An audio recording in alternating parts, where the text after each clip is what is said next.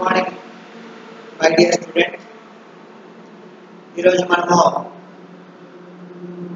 Second పిఎస్సికి సంబంధించినటువంటి MPC MPCS తో పాటు బీజెడ్సి గ్రూపులకు సంబంధించినటువంటి common paper common course syllabus అంటే బిఏ బీకామ్ బిఎస్సికి సంబంధించి అందరికీ ఒకే పేపరు నేను చెప్పేది ఏంటంటే బిఎస్సి బీజెడ్సి గ్రూపులు చెప్తున్నాను అందులో ఈపీఎస్ ఎంటర్ప్రెన్యూర్షిప్ అనేది పేపరు పేపర్లో మనం యూనిట్ సెకండ్ యూనిట్లో ఉన్నాం. సెమిస్టర్ వచ్చేసి ఫోర్త్ సెమిస్టర్లో ఉన్నాం. ఫోర్త్ ఫోర్త్ సెమిస్టర్కి సంబంధించినటువంటి సిలబస్ అలాగే ఇక్కడ మనము వాట్ ఈస్ ద ఎంటర్ప్రెన్యూర్ అని చెప్పేసి వ్యవస్థను ఏ రకంగా స్థాపించాలి? వ్యవస్థల యొక్క లక్ష్యాలు ఏంటి? దాంతోపాటు కింది క్లాస్లో మనము లైసెన్స్ ఎలా పొందాలి? Legal business and illegal business అంటే ఏంటి? ఆ యొక్క లైసెన్స్ అనేది ఎవరిస్తారు దాంతోపాటు generator of ideas business ideas వ్యాపార ఆలోచన అనేవి కూడా మనము కింది క్లాస్లో చర్చించుకోవడం జరిగింది. దానికి కొన్ని లక్షణాలు ఉంటాయి ఆ లక్షణాలు ఏంటి అనే విషయాలన్నింటినీ కూడా హిందీ తరగతిలో మనము డీప్గా డిస్కషన్ చేసుకోవడం జరిగింది. అయితే ఈ తరగతిలో మనం చర్చించుకోవాల్సినటువంటి అంశాన్ని పరిశీలించినట్టయితే కనుక వ్యాపార అవకాశాల గుర్తింపు అనే అంశాన్ని ఈరోజు తరగతిలో మనము డిస్కస్ చేయడం జరుగుతుంది. ఈ వ్యాపార అవకాశాల గుర్తింపు అనేది దానికి సంబంధించినటువంటి పరిచయాన్ని తీసుకున్నటువంటి నిర్వచనాలు తీసుకున్న అవకాశాల గుర్తింపును ప్రభావితం చేసేటువంటి కారకాలు అనే అంశాన్ని మనం తెలుసుకుంటాము. అందులో భాగంగా సామాజిక నెట్వర్కింగ్ ఒకటి మార్గదర్శకత అనే అంశాన్ని చూసుకుంటాం.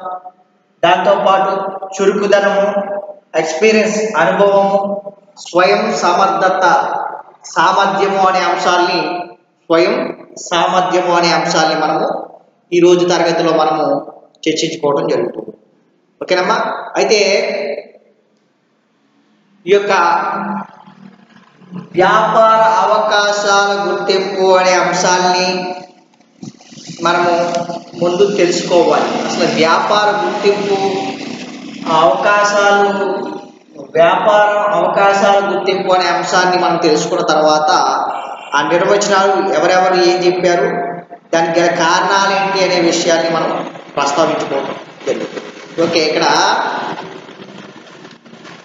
ఒక సంస్థని గనక మనం నెలకొల్పడానికి ఆలోచనలు పొందినటువంటి తరువాత ఒక సంస్థని నెలకొల్పాలి అనేటువంటి ఆలోచన మనకు వచ్చిన తరువాత చేపట్టవలసినటువంటి తదుపరి చర్యనే వ్యాపార అవకాశాల గుర్తింపు అనేసి మనము చెప్పడం జరుగుతుంది. అంటే ఒక వ్యాపారాన్ని మనం స్థాపించాలి అని చెప్పేసి మనకి ఒక అవకాశం ఒక ఆలోచన వచ్చినప్పుడు తదుపరి చర్య ఏం తీసుకోవాలి మనము అంటే కనుక వ్యాపార అవకాశాల్ని గుర్తించాలి. ఈ వ్యాపారం యొక్క మార్కెట్ అనేది ఈ సొసైటీలో ఏ విధంగా ఉంది? మనం గనక ఈ యొక్క వ్యాపారాన్ని స్టార్ట్ చేస్తే ఏ విధంగా ముందుకి పోగలము అనే విషయాన్ని పై ఒక స్పష్టత అనేది మన మీద ఉండాలి. అంటే మనకి ఏదో ఆలోచన వచ్చేసిందని చెప్పేసి ఏదో వచ్చే రాని బిజినెస్ని లేదంటే బిజి వ్యాపారాన్ని మనం స్టార్ట్ చేయడం వల్ల లాభాల కన్నా అధికంగా నష్టాలకి గురవుతామనే విషయాన్ని మనము ఇక్కడ గుర్తుంచుకోవాలి. ఈ వ్యాపారం అనేది ఏ రకంగా మనం ఎస్టాబ్లిష్ చేయాలి అనేది మనకు వచ్చినటువంటి ఆలోచనని బేస్ చేసుకుని మనం స్టార్ట్ చేయాలి ముందర ఆలోచనలు వస్తాయి. ఆలోచనని ఆచరణ సాధ్యంలోనికి తేవడాన్ని వ్యాపారం అనేసి మనం చెప్పుకోవచ్చు. అంటే ఆ ఆచరణ తేవడానికి ముందర ఆలోచన వచ్చిన తర్వాత మనకి ఏదైతే ఒక కంపెనీ కానీ ఒక వ్యవస్థను కానీ ఒక వ్యాపారాన్ని కానీ మనం చెయ్యాలనుకుంటున్నామో ఆ ఆలోచన బేస్ చేసుకునే దీని యొక్క స్థాపన అనేది జరుగుతుంది. ఆ స్థాపన అనేది జరిగేటప్పుడు మనం ఏం చేయాలి అంటే మార్కెట్ని అన్వేషించవలసినటువంటి అవసరం ఉంది. ఏ విధమైనటువంటి వ్యా ఈ విధమైన మనం మనకు వచ్చినటువంటి ఆలోచనకి అనుకూలంగా మనం వ్యాపారాన్ని చేస్తే కనుక ఏ విధంగా సక్సెస్ సాధిస్తాము ఆ వ్యాపారం యొక్క లావాదేవీలు ప్రజెంట్ సొసైటీలో ఏ విధంగా ఉన్నాయి? వాటి యొక్క ఉత్పత్తి కానివ్వండి డిమాండ్ కానివ్వండి లేకపోతే రా మెటీరియల్స్ కానీ ఏ విధంగా లభిస్తున్నాయి? ఎంత కాస్ట్ అవుతుంది? ఆ వ్యాపారాన్ని స్టార్ట్ చేయడం వల్ల లాభం వస్తే ఓకే నష్టాలు వస్తే కనుక మనం తట్టుకోగలమా లేమా అనే విషయాలన్నింటినీ కూడా క్షుణ్ణంగా రీసెర్చ్ చేసిన తర్వాత మాత్రమే మన రెండో చర్య అయినటువంటి వ్యాపారాన్ని స్టార్ట్ చేయడంలో మొదలు పెట్టాలి ఇలా గుర్తించిన తర్వాత మనకి ఆలోచన రావడం తదుపరి చర్య ఏంటంటే వ్యాపార అవకాశాల్ని గుర్తించాలి. దాంతోపాటు ఎంటర్ప్రీన్యూర్షిప్ యొక్క మౌలిక అంశాలు మూడు. ఎంటర్ప్రెన్యూర్ యొక్క మౌలిక అంశాల్ని మూడు రకాలుగా మనం తీసుకున్నట్టయితే కనుక ఏంటి అవి అంటే అవకాశాలను గుర్తించగల సామర్థ్యాలు. సామర్థ్యం అంటే అవకాశాన్ని గుర్తించగల కెపాసిటీ అనేది మనలో ఉండాలి. ఐడెంటిఫై టు బిజినెస్ సారీ అవకాశాల్ని ఆపర్చునిటీస్ని గుర్తించగలిగినటువంటి సామర్థ్యం అనేది మనలో ఉండాలి. ఆ అవకాశం అనేది అంటే మనము ఆలోచనతో పాటు ప్రస్తుత ట్రెండ్లో ఉన్నటువంటి మనకు వచ్చేటువంటి ఆపర్చునిటీస్ని మనం గెయిన్ చేయగలగాలి. వాటికి అనుకూలంగా మనము మనకి అనుకూలంగా ఆ అవకాశాన్ని మళ్ళించుకోగలగాలి అప్పుడు మాత్రమే ఏం జరుగుతుంది అంటే బిజినెస్ అనేది సక్సెస్ అవడానికి ఆస్కారం ఇది ఒక మెట్టు. అంటే మనకు వచ్చేటువంటి అవకాశాలను గుర్తించగలిగే సామర్థ్యం మనకు ఉండాలి. అంటే ఐ మీన్ ఎంటర్ప్రైన్యూర్కి ఉండాలి. ఆ తర్వాత అవకాశాల్ని సమీక్షించడము లేదంటే మదింపు చేయగల సమర్థత మనలో ఉండాలి. అంటే అవకాశాలను సమీక్షించి సమీక్ష చేసుకుంటూ లేదా మదింపు చేయగల సమర్థత మనలో ఉండాలి. ఇది రెండో అంశం. మనలో అంటే ఐ మీన్ ఎంటర్ప్రీన్యూర్లో అలాగే గుర్తించినటువంటి అవకాశాలను విజయవంతంగా నిర్వర్తించగలిగినటువంటి నైపుణ్యాలు ఉండాలి. అవకాశాలు అందిపుచ్చుకున్నాం దాన్ని అనలైజ్ చేయాలి లేదంటే నిర్వర్తించగల నైపుణ్యాలు ఉండాలి. అలాగే ఆ యొక్క అవకాశాలను ఏ విధంగా సద్వినియోగం చేసుకోవాలనే విషయం తెలిసి ఉండాలి. అలాగే అవకాశాలను విజయవంతంగా నిర్వర్తించగలిగేటువంటి నైపుణ్యం కూడా ఆ యొక్క ఎంటర్ప్రెన్యూర్లో ఉండాలి అనే విషయాన్ని మనము గుర్తుంచుకోవాలి.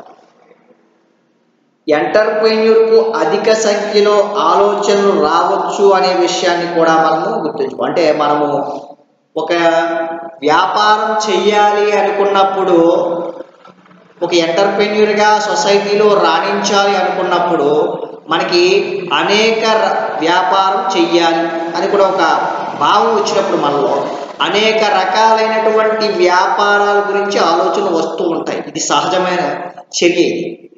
ఏం చేయాలి? ఏ వ్యాపారం చేయాలి? మార్కెట్లో దేనికి డిమాండ్ ఉంది? ఉత్పత్తి ఎలా సాధ్యము?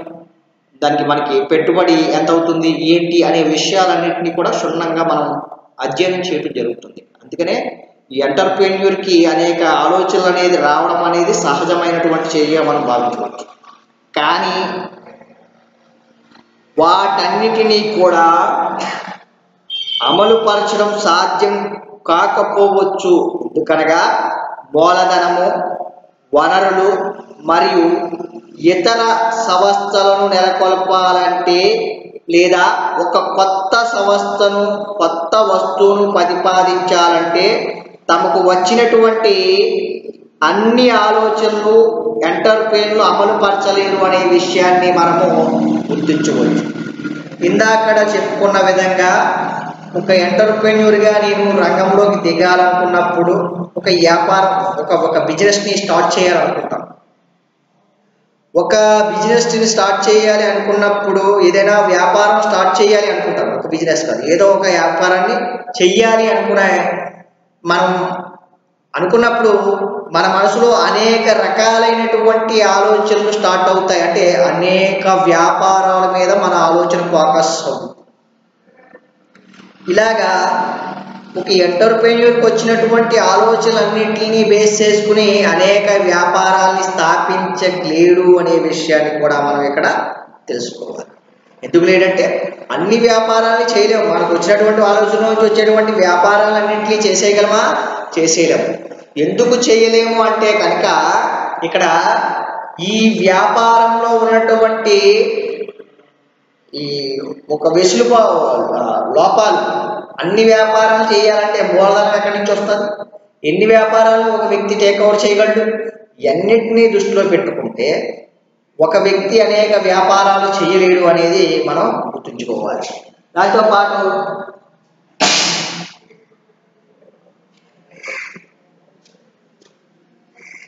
ఇక్కడ వ్యాపారం చేసేటప్పుడు మనము సాధ్యాసాధ్యాలని దృష్టిలో పెట్టుకోవాల్సినటువంటి విషయం. అంటే ఒక ఎంటర్ప్రెన్యూర్గా నేను బిజినెస్ స్టార్ట్ చేయాలన్నప్పుడు ఆ బిజినెస్లో ఉన్నటువంటి లోటుపాట్లు ఏంటి? సాధ్యాసాధ్యాన్ని గమనించవలసినటువంటి అవసరం ఒక ఎంటర్ప్రెన్యూర్గా నా మీద ఉంటుంది చేయగలనా? చెయ్యలేనా చేస్తే ఎంతవరకు దానిలో గట్టిన అవ్వగలను?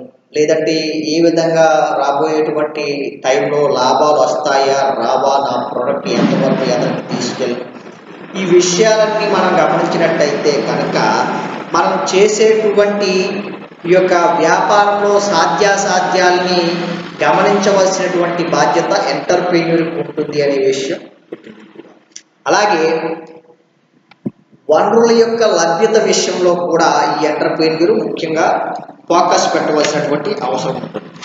వనరులు అనేది మరియు వనరులు ఇతర సౌకర్యాలు తక్కువగా లభ్యమవుతే గనక అన్ని ఆలోచనలు అమలుపరచడం క్లిష్టతరంగానే ఉంటుందనే విషయాన్ని కూడా మనం గుర్తుంచుకోవాలి. మన ఆలోచన వచ్చినంత మాత్రాన మనకు సరిపోదు. మనకు వనరులు ఏ విధంగా లభ్యమవుతాయి మనం కంపెనీని ఏ విధంగా స్థాపించాలి ఈ విషయాలన్నిటినీ ఎనలేజ్ చేయాలి. వనరుల లభ్యతని బట్టే మన యొక్క వ్యాపారం వృద్ధి అనేది లేదా వ్యాపారం స్థాపించడం అనేది జరుగుతుంది అనే విషయాన్ని కూడా మనము గుర్తుంచుకోవాలి. దాంతోపాటు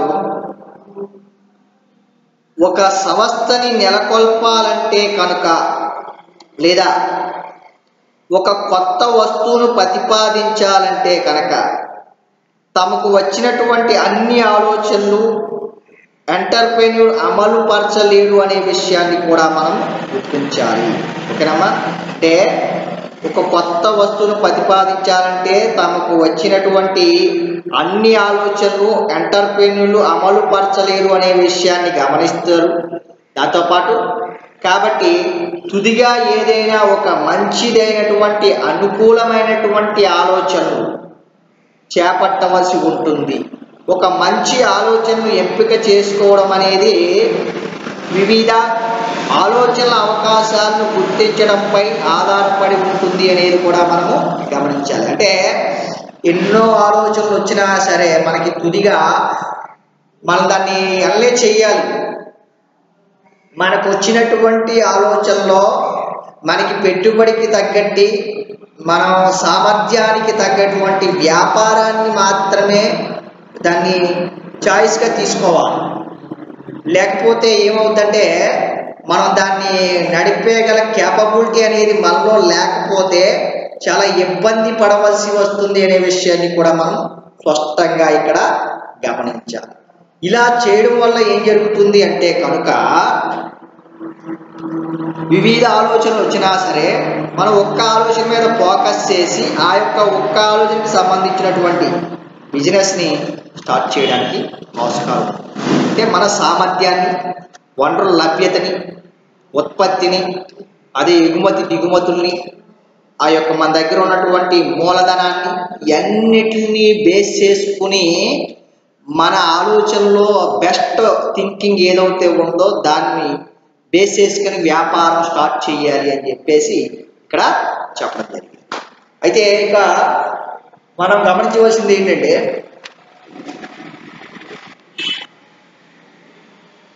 ఇక్కడ ఎవరైతే అవకాశాలను గుర్తించడంలో విజయం సాధిస్తారో వారు సృజనాత్మకత వ్యక్తులలో వర్గంలోకి వస్తారు అనే విషయాన్ని మనం తెలుసుకోవాలి. ఇక్కడ మనము ఎవరైతే అవకాశాలని గుర్తించి విజయవంతం అవుతారో వారు సృజనాత్మకత వ్యక్తుల వర్గంలోకి వస్తారు అనే విషయాన్ని మనం గుర్తించుకోవాలి. ఎందుకంటే ఎప్పుడైతే మనము అవకాశాలు అనే వాటిని గుర్తించాలి అవకాశాలు మన దగ్గరికి రావచ్చు రాకపోవచ్చు.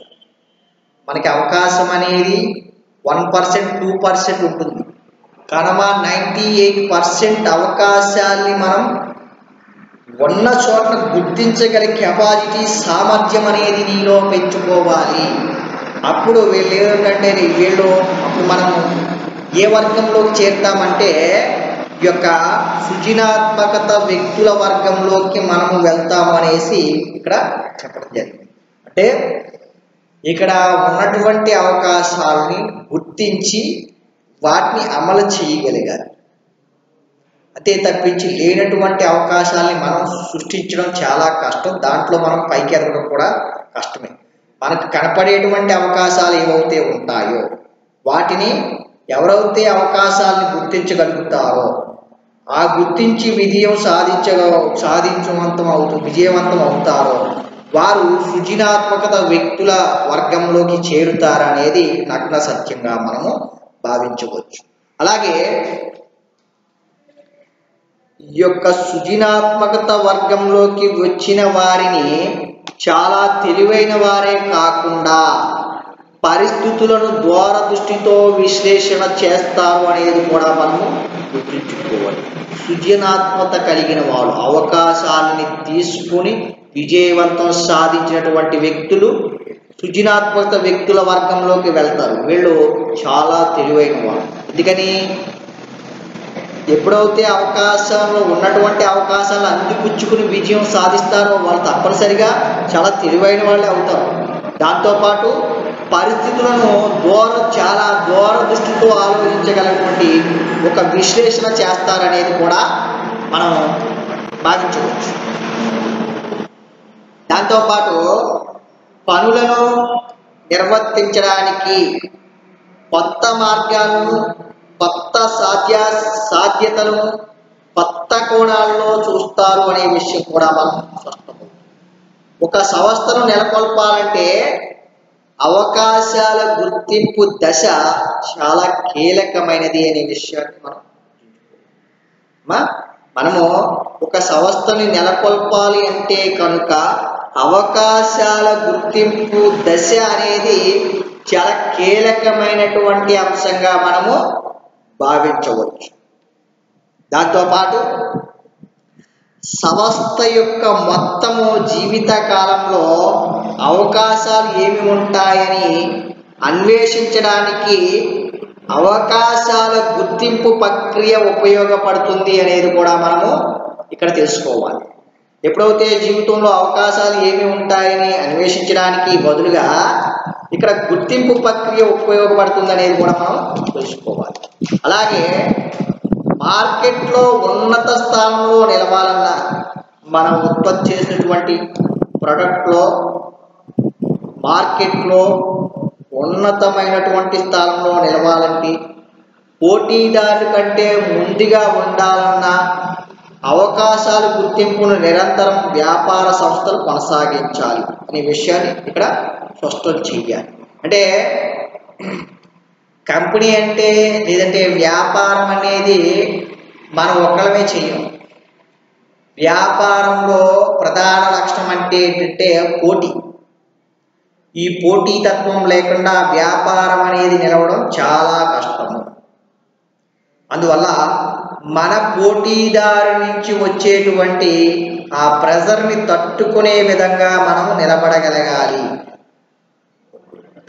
ఆ పోటీలో భాగంగా మనకి వచ్చేటువంటి అవకాశాలని సద్వినియోగం చేసుకోవాలి.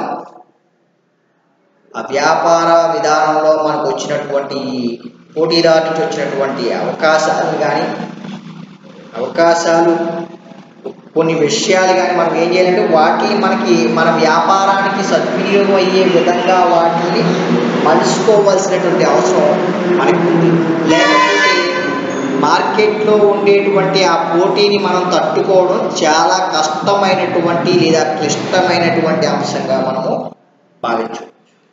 ఓకేనమ్మా? అలాగే ఇక్కడ మనము మార్కెట్లో ఉన్నతమైనటువంటి స్థానాలు ఇవ్వాలి ఇప్పుడు ఉదాహరణకి చూడండి. ఇప్పుడున్నటువంటి బిజినెస్ని పరిశీలిస్తే మనం టాటా అవ్వచ్చు రిలయన్స్ అవ్వచ్చు అదేంటి మహేంద్ర టెక్ అవ్వచ్చు ఇన్ఫోసిస్ అవ్వచ్చు లేకపోతే వాట్సాప్ అవ్వచ్చు ట్విట్టర్ అవ్వచ్చు ఫేస్బుక్ అవ్వచ్చు మైక్రోసాఫ్ట్ అవ్వచ్చు ఇలా చెప్పుకుంటూ పోతే చాలా కంపెనీలు ఉన్నాయి. హీరో హోండా కంపెనీలు అవ్వచ్చు. అన్ని కంపెనీల్ని మనం తీసుకున్నట్టయితే ఈ కంపెనీలు అనేవి ఎలా సృష్టించబడ్డాయి అనే విషయాన్ని మనం ఒకసారి గుర్తుంచుకోవాలి. ఎలా సృష్టించబడ్డాయి అంటే కనుక ఇక్కడ మనము ఇందాక చెప్పిన విధంగా ఆ కంపెనీలు అనేవి స్థాపనకి మొదటి కారణం ఏంటంటే మనలో వచ్చినటువంటి ఒక ఆలోచన. వీళ్ళందరూ కూడా ఒక ఆలోచన వాళ్ళకు వచ్చినటువంటి ఆలోచనని వాళ్ళు చేయగలరో లేదో అనే కెపాసిటీని బేస్ చేసుకుని వాళ్ళకు వచ్చినటువంటి అవకాశాన్ని అందిపుచ్చుకుంటూ పోయారు. అందుకే వీళ్ళు ఒక సృజనాత్మకత వ్యక్తుల వర్గంలోకి లేదంటే తెలివైనటువంటి వర్గాలుగా మనం పిలవడం జరుగుతుంది. కానీ చాలామంది వ్యాపారం చేయాలనేటప్పటికీ వెనకడుగు వేస్తారు. వ్యాపారంలో వెనకడుగు వేసేయడానికైనా మార్కెట్లో దాని యొక్క విధి విధానాలు ఏ విధంగా ఉన్నాయనేది మనం గమనించుకోవాలి. దాంతోపాటు నేటి సమాజంలో నివసిస్తున్నటువంటి వ్యక్తుల యొక్క అవసరాలు ప్రయోజనాలు పరిస్థితుల్ని సాంఘిక ఆర్థిక సామాజిక పరిస్థితుల్ని దృష్టిలో పెట్టుకొని అవసరమైనటువంటి వస్తువుల్ని గనక మనం సృష్టించినట్టయితే కనుక తప్పకుండా మనము విజయం సాధించడానికి అవకాశం ఉంటుంది.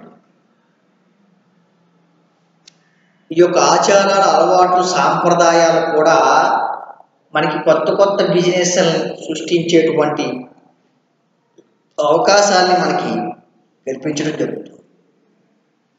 ఇలా చెప్పుకుంటూ పోతే ఈరోజు పెద్ద పెద్ద కంపెనీలుగా చిన్న చిన్నగా మొదలెట్టినటువంటి చిన్న కంపెనీలే ఈరోజు పెద్ద పెద్ద కంపెనీలుగా ప్రపంచంలో కానీ భారతదేశంలో కానీ పేరు ప్రఖ్యాతులు సంపాదించాయి. అనేసి మనం చెప్పుకోవచ్చు వీళ్ళందరూ కూడా కేవలం చేసింది ఏంటంటే ఒక ఆలోచన ద్వారా దాన్ని ఆచరణ సాధ్యం తీసుకొచ్చారు. వాళ్ళ యొక్క ఆలోచనని ఆచరణకి తీసుకురావడం జరిగింది. అందువల్ల ఈరోజు వాళ్ళ వాళ్ళ ఆ యొక్క బ్రాండ్ వల్ల అనేక రకాలుగా ఇమేజ్ని సంపాదించడం జరిగింది. పోటీ అటు ఈ అప్పుడైతే పోటీ అనేది లేదు. గత ఇరవై నుంచి ముప్పై సంవత్సరాలని మనం కింద మనం పరిశీలించినట్టయితే పోటీ అనేది చాలా తక్కువగా ఉండేది. సాంకేతిక పరిజ్ఞానం అంత లేదు. కానీ స్టిల్ ఇప్పుడు ఈ ఆధునిక యుగంలో మనం గ్లోబలైజేషన్ జరిగిన తరువాత మనము ఈ యొక్క వ్యాపార విషయాల్లోకి పరిశీలించేటప్పటికీ సాంకేతిక పరిజ్ఞానం విపరీతంగా పెరిగిపోవడంతో వ్యాపారస్తుల్లో విపరీతమైనటువంటి పోటీ సంభవించింది అనే విషయాన్ని మనం గుర్తుంచుకోవాలి. ఈ పోటీని ఎదుర్కొని మార్కెట్లో మనం నెంబర్ వన్గా నిలవాలి అంటే చాలా కష్టమైనటువంటి అంశం అందుకే బిజినెస్ చేసేటప్పుడు ఆచితూచి వ్యవహరిస్తూ మన యొక్క అవకాశాలను సద్వినియోగం చేసుకుంటూ ఎదరికి వెళ్ళాలి అనే విషయాన్ని మనందరం కూడా గుర్తుంచుకోవాలి. ఇప్పుడు చూడండి ఎప్పుడో ఒక క్లాస్లో చెప్పాను మీరు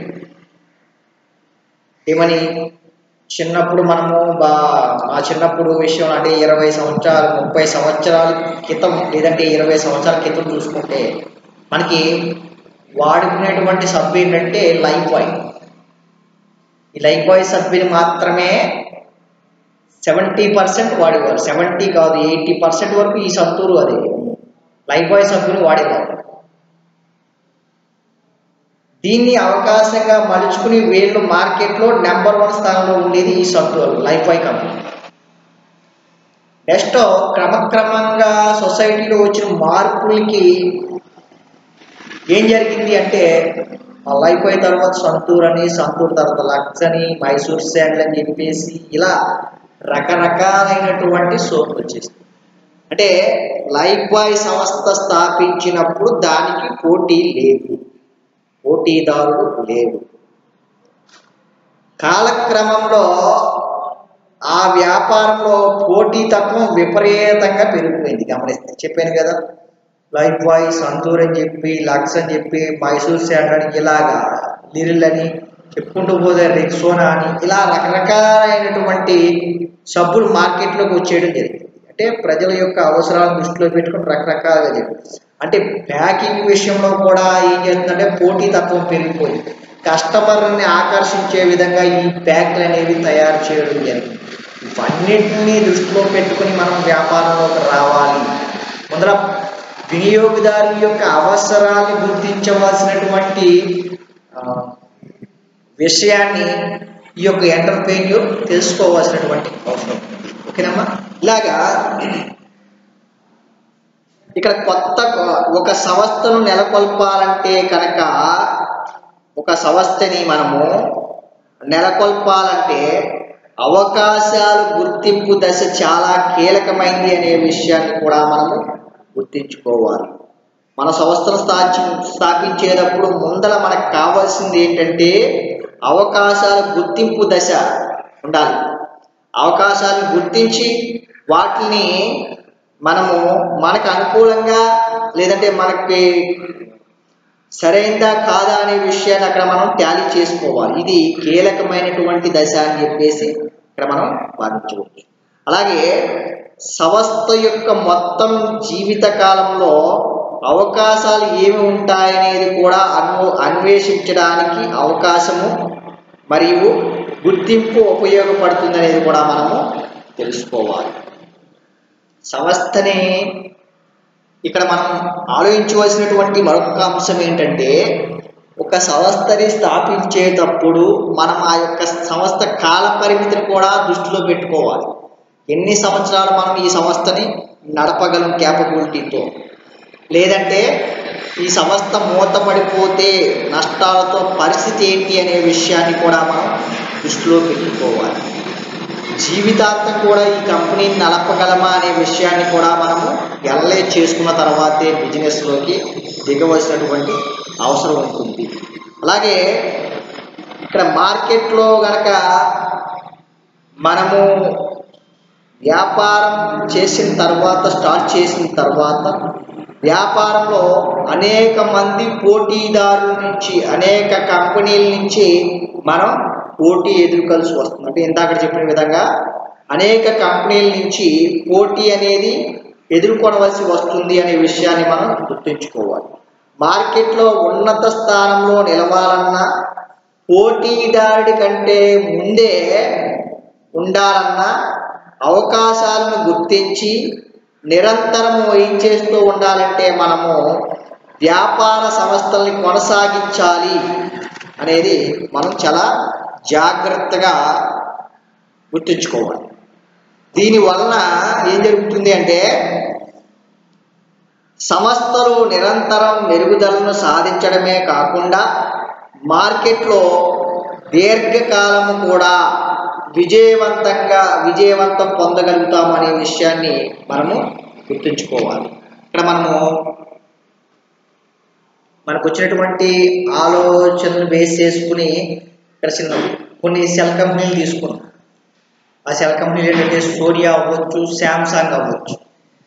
ఈ సోనీ శాంసంగ్ కూడా ఈ ప్రజెంట్ సిచ్యువేషన్లో కూడా వి విజయం సాధించగలుగుతున్నాయి.